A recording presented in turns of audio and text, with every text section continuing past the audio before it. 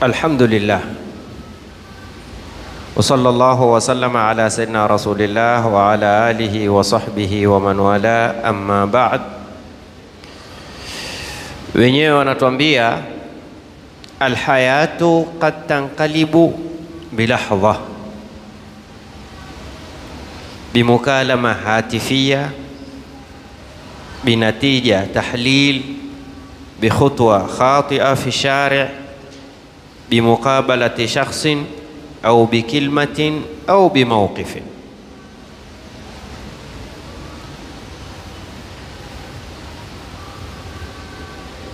Katika haya maisha tunaoishi sisi, twajipangia tukasahau kwamba asli ya mipango tunayopanga kuna mwenyewe ndo anaoyapangilia.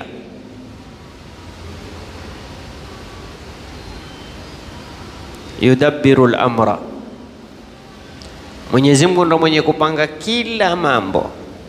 Katika aya nyingine Mwenyezi Mungu Subhanahu wa Ta'ala atuambia ilaihi yarji'u al-amru kullu, mambo yote yarudi kwake.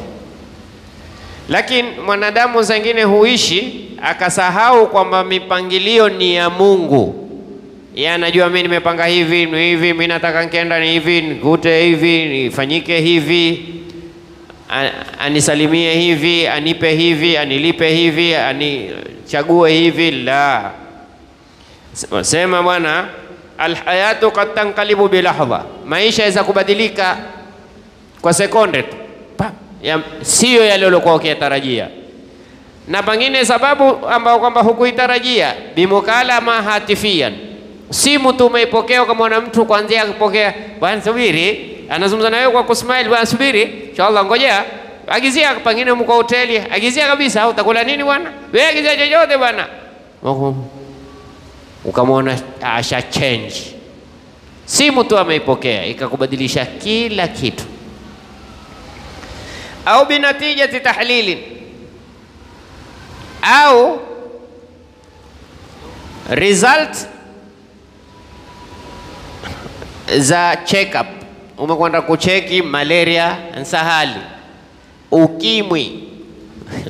Nasalullah salamata wal kensa nasalullah salamata wal. Mwenyezi Mungu atuafu na wenye nao Mwenyezi Mungu awape afia. Na mwenye nao Mwenyezi Mungu awape dawa. Akhi, Si kila mwenye maradhi ya ukimwi ameyapata kwa ndia uifikiria wewe, la. Kuna watu Mwenyezi Mungu amewapa maradhi kama haya, si kuwa wana madhambi, wana daraja. Mungu ataka kuwainua. Nafikiri Ramadhani tulizungumzia sana masala haya. Si kila balaa ni kwa ajili ya kuadhibiwa, lakini mimi na wewe tumpendaye akipata balaa usema Mungu amempa mitihani, tusompenda tukimwona na balaa ombea Mungu amemwandika kibati. Yaani mimi na wewe ndo twahukumu, na sisi siku zote twasoma sura nyepesi, alaysa Allahu biahkamil. Hii pengine tusema ndio mwenye ahkamil, lakini inil hukmu illa lillah, hukmu haiko ila kwa Mwenyezi Mungu basi peke yake. Yeye ndo anahukumu, yeye ndo anaijua, wewe usimhukumu mtu.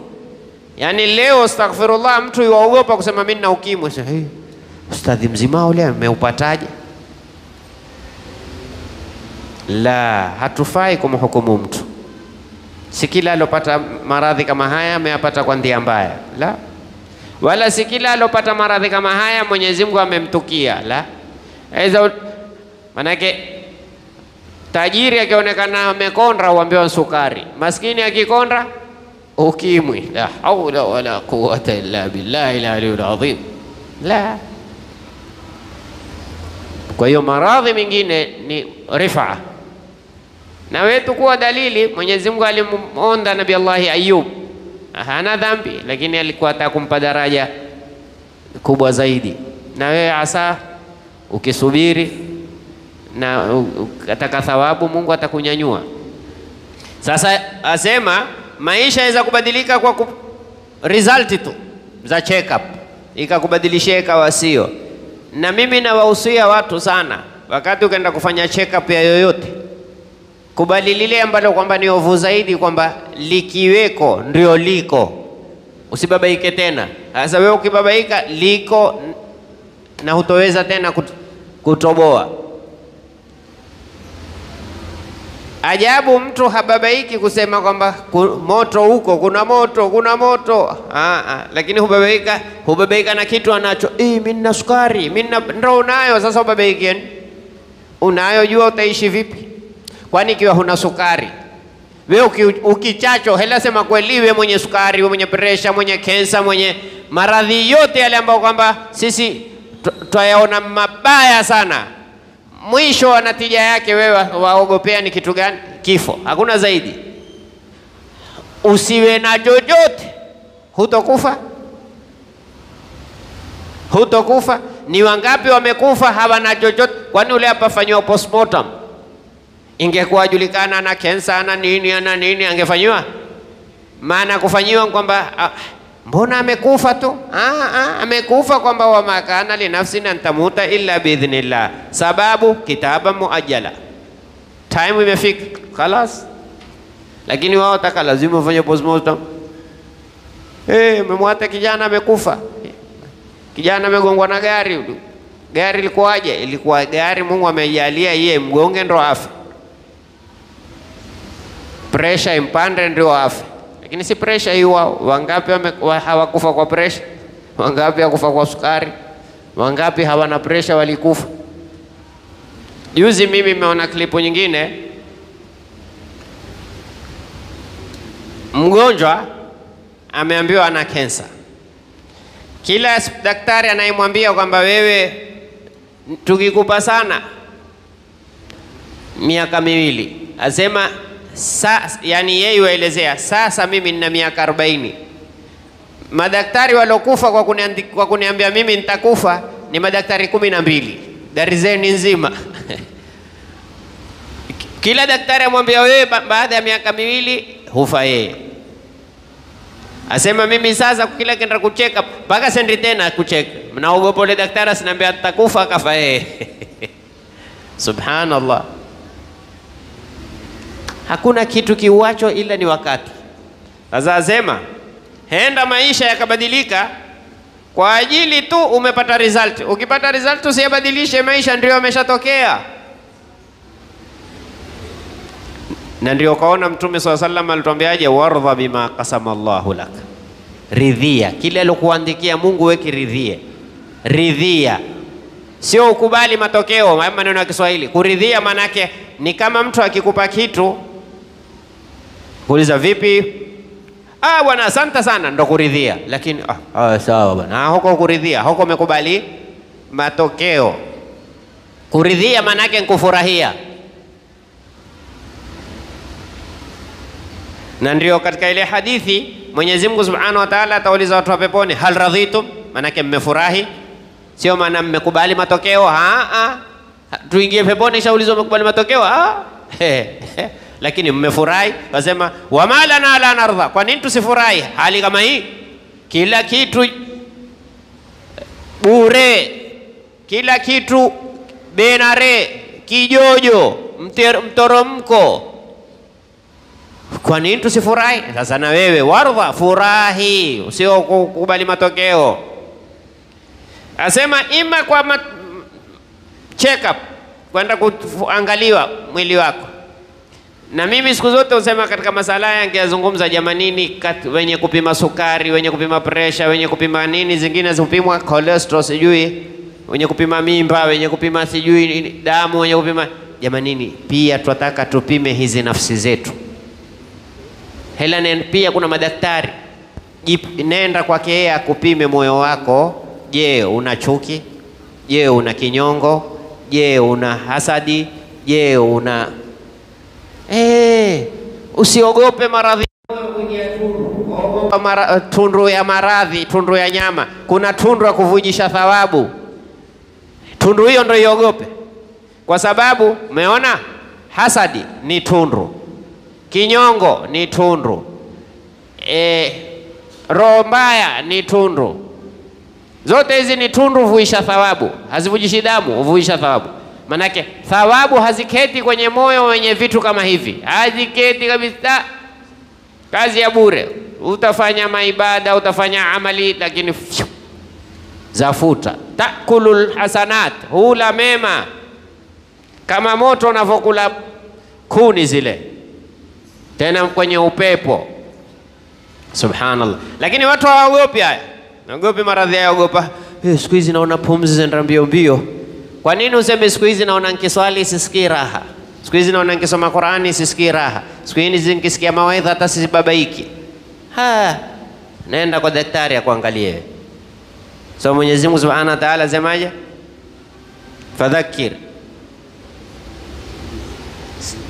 in nafaati dhikra. Ehe, natija sayadhakaru man yakhsha. Je, wewe wamwogopa Mungu?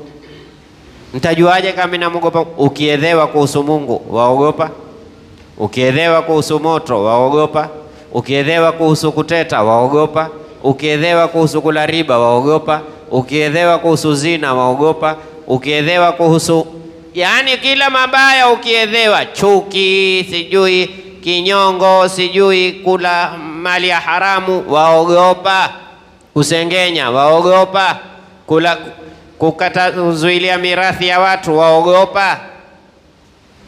Awe waogopa KRA?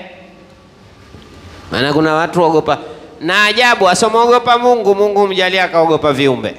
Mungu ameweka kaida, man khafa Allaha khafahu kullu shay, anayemwogopa Mungu hujalia vingine vikakuogopa wewe, na asiogopa Mungu akitaiwa polisi, polisi leo bwana wako pale madukani kwako, bismillah, sijui ana nini, akamwambia polisi wako dukani kwako, marhaba, na waje tu, hakuna neno eh. Tena mmeona wengi hata wa, wa, waje kituo kizima, sababu wewe mwogopa Mungu. Wale wenyewe akija, mzee, tuangalie chai, mwambie nenda ndani hoteli ya Swani, ndo kwenye chai mtu duka la vitambara yataka chai vitambara na chai wapi na wapi? Ona wenyewe, lakini ukiwa wewe humwogopi Mungu, kila kitu cha kutisha wewe, ukizikia hivi tayari kutishitishika nini katika moyo wako, hakuna khaufullah. Ukimwogopa Mwenyezi Mungu kisawasawa, na Mwenyezi Mungu asemaje? walladhina amanu ashaddu ha? ashaddu hubban lillah, na ile khashya yakhshawna nnasa kakhashiyatillah. Yakhi, hakuna kitu kama kumwogopa Mwenyezi Mungu kushinda kila kitu. Ule bwana mmoja alikwenda kwa mwanachuoni akiitwa Tawus. Tawusi huyu ni mcha Mungu sana, asema alipokwenda nyumbani kwake akamwona kagonga, akamwona mzee ametoka, akamwambia anta shekh taus wewe ndiye shekh taus Akamwambia la, ana ibnu, mwambia mimi mtoto wake. Akamwambia eh, ikiwa wewe umezeeka namna hiyo, ho babako si amekwisha? Akamwambia mcha Mungu hazeeki, mcha Mungu hazeeki. Kwa sababu gani? Kwa sababu ana ule ucha Mungu, anayemwogopa Mungu hazeeki. Kila ukimwona yamwona bado smart. Bas akamwambia niombe ruhusa, nataka niingie nizungumze naye.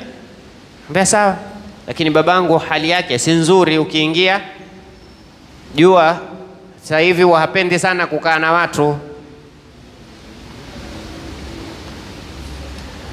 Yule bwana alipoingia akamwambia, mi nataka kuuliza masala, ruksa. Akamwambia salwa au jizi, uliza lakini fupiliza Maanake wajua kuna watu hawajui kuuliza. Mtu ataka kuuliza, mume wangu haniangalii, nifanye nini? Yeye atakwambia mimi 2000 nilioana na mume wangu, tukapata vijana watatu, kisha mume wangu akaenda safari, kisha eh, akakuelezea tarehe mwisho. Sasa hivi mume wangu amebadilika, haniangalii tena, hukumu yake yani robo saa nzima ni kiswa cha Nabii Allah Nuhu kamili. Uliza short and clear, kwa ufupi tu ambia uuliza, lakini ukiuliza fupiliza.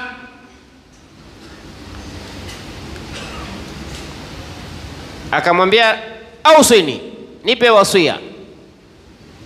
Akamwambia ukitaka nitakupa wasia uliomo ndani ya Taurat na Zabur na Injil na Qur'an, na mimi nitakupa wasia umo ndani ya vitabu vyote vilioteremshwa na Mwenyezi Mungu kwa ufupi tu, na ukishikilia huo wasia huo hutomuuliza mtu tena kitu. Akamwambia bismillah, akamwambia khaf khafillaha makhafatan la yakunu shay'un akhwafa indaka minhu, muogope Mwenyezi Mungu uoga ambao kwamba hakuna kitu takiogopa zaidi ya kuogopa kwako Mwenyezi Mungu. Unapotajua Mungu amekataza, leo binadamu tukiambiwa serikali imekataza huogopa, lakini tukiambiwa Mungu, ah, Mungu karimu, ah, karimu, hujui kwamba naye ni shadidul iqab, anateza kwelikweli kweli, shadidul adhab adhabu yake kali sana, ana adhabun alim, adhabu yenye kutia utungu. Lakini wewe utaitukulia ah, Mungu ana neno. Ah, sasa muogope Mwenyezi Mungu, uoga ambao kwamba hakuna kitu utakiogopa zaidi ya uoga wako juu ya kumwogopa Mwenyezi Mungu. Wasia wa kwanza. Wa pili akamwambia warjuhu rajaan huwa ashaddu min khawfika iyah, lakini juu ya kuwa wewe muogopa, mtarajie Mungu wako matarajio ambayo kwamba zaidi ya ile uoga unaomwogopa. Usimwogope ukawa humtarajii tena, atarajia kwamba Mungu ni mkarimu Mungu, lakini na huku wamwogopa. Yani kwa maana mi nafanya ibada natarajia Mungu tu azitakabali, lakini sijui kama hivi mfanyavyo ndivyo. Mi naswali natarajia tu anitakabalie, lakini swali hivyo sitarajii kama. Sema tu yeye ni Mungu, lakini ingekuwa hizi swala za kupelekwa kwenye scanning ya kiumbe wangeturudishia nazo, lakini Mwenyezi Mungu zitakabali hivyo hivyo. Mi natoa zaka, mi nafunga Ramadhani, lakini natarajia Mungu atazikubali Ramadhani zetu hizi. Zamani kuna mzee mmoja kutoka Amu alikuja Mombasa. Sasa kule Amu tulikuwa tukinena, ah, hizi saumu nyingine zetu zina nyufa nyufa. Unajua nyufa, ukuta ule usiingia ufa. Akanena ama ukia Mombasa hazina ufa, zina matundu swa Sasa usiuke na Nairobi na uzunguni uwaiye Subhanallah, yani Mungu atazitakabali hivyo hivyo.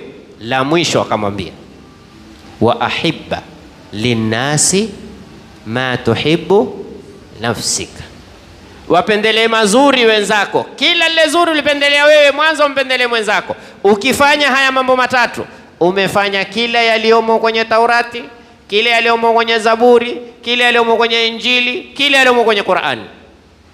Muogope Mungu kisawasawa uoga ambao kwamba huna utakachokiogopa zaidi ya uoga wako juu ya kumwogopa Mwenyezi Mungu.